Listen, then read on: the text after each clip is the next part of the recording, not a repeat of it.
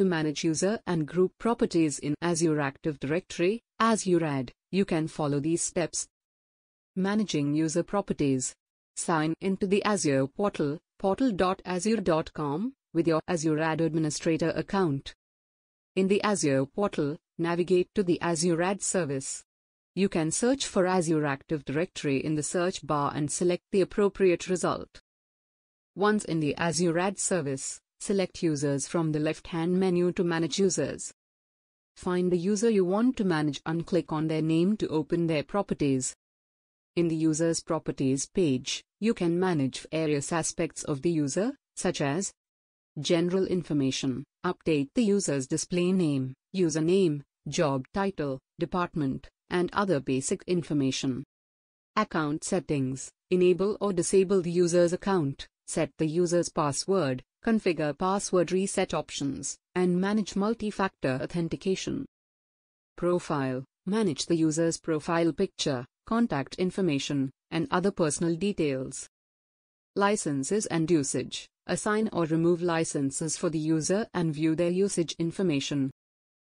Groups, add or remove the user from Azure AD Groups. Roles, assign administrative roles to the user. Authentication methods, configure the user's authentication methods, such as password, phone number, or external identity providers. Make the necessary changes to the user's properties and click Save to apply the changes. Managing group properties. Sign into the Azure portal with your Azure AD Administrator account. In the Azure portal, navigate to the Azure AD service. Once in the Azure AD service, select Groups from the left-hand menu. Find the group you want to manage and click on its name to open its properties.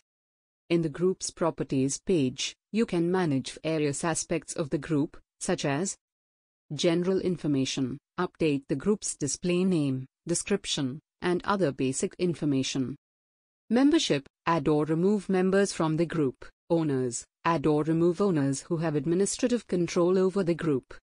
Settings, configure settings like group type, security or Office 365, dynamic membership rules, and group expiration. Access reviews, set up periodic reviews to manage group memberships.